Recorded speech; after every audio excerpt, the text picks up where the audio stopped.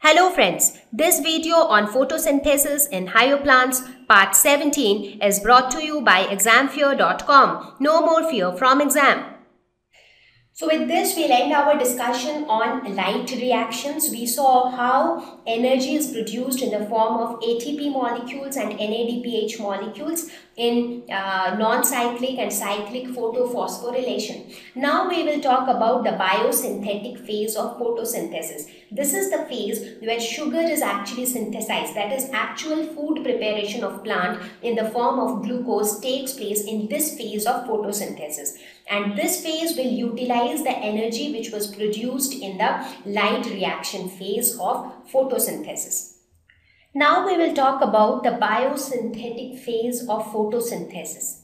So biosynthetic, synthetic means preparation, synthesis. Bio is life. So basically here we are actually going to synthesize the food material of plants.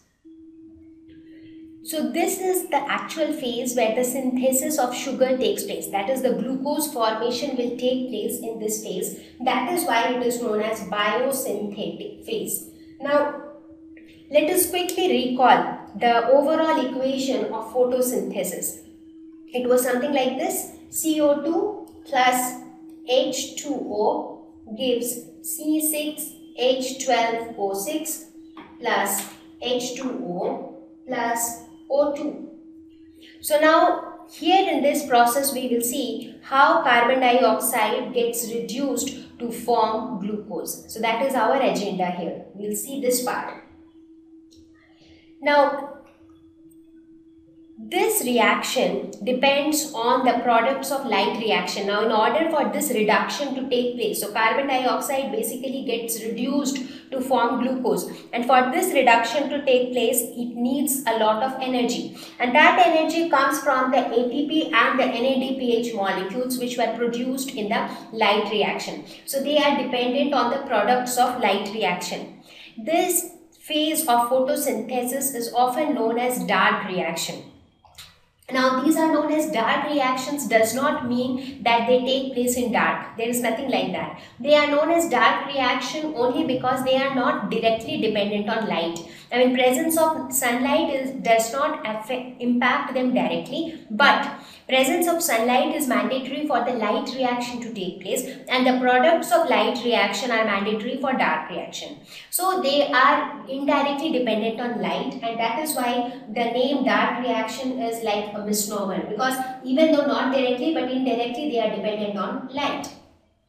So it has been seen that even if the light is gone, these dark reactions might continue for some time, but then later it stops because of its indirect dependency on light.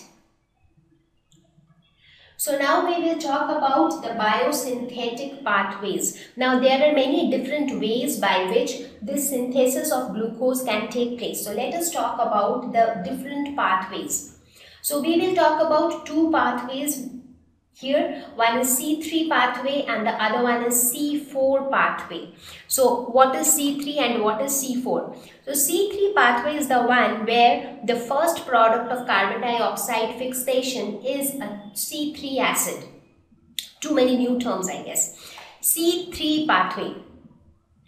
It means eh, here in this process we start with carbon dioxide and we want to produce glucose or we want to convert that carbon dioxide into glucose somehow. That is our agenda.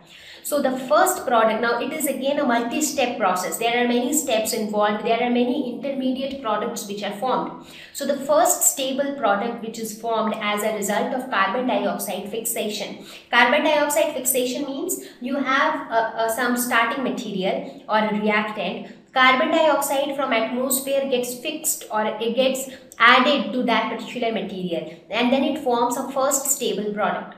So that first stable product of carbon dioxide fixation is a C3 acid that is a 3 carbon organic acid. So that is why this is known as C3 pathway. So what is that C3 acid? That is 3-phosphoglycerate which is often uh, abbreviated as 3PGA that is phosphoglycerate or phosphoglyceric acid whatever you call it. So this is the first stable product of C3 pathway. This pathway is also known as Calvin cycle after the name of the scientist Calvin who did a lot of research on this pathway. So Calvin was the first person who gave uh, this entire, the complete pathway of how glucose is synthesized in a plant. So that is about uh, the process of C3 pathway. The next biosynthetic pathway is a C4 pathway. Now it is very obvious from the name. So there it was C3 because a 3 carbon acid was formed. So here a 4 carbon acid is formed. So the first product is a is an acid which has 4 carbon atoms in it. So what is that acid? That is oxaloacetic acid which is often abbreviated as OAA. So oxaloacetic acid has 4 carbons in it. So that is the first stable product of a C4 pathway. This the, this pathway is also known as Hatch and Slack pathway after the name of this pair of scientists called Hatch and Slack who uh, demonstrated it for the first time. So now it has been seen that in most of the plants C3 pathway takes place. In fact C3 pathway is the process of uh, sugar synthesis in all photosynthetic plants. But there are certain plants where C4 pathway take place. That is where the first product is a C4 acid. So it is seen only in certain plants. So we will talk about the C3 and C4 plants also separately. That is, that is how are they different from each other? What are the characteristics that identify whether it is a C3 plant or a C4 plant? So right now we will first talk about the C3 pathway that is the Calvin cycle. Thank you. Please visit www.examfear.com to watch more videos, attempt free online test, get free study material, find tutors and mentors. Thank you once again.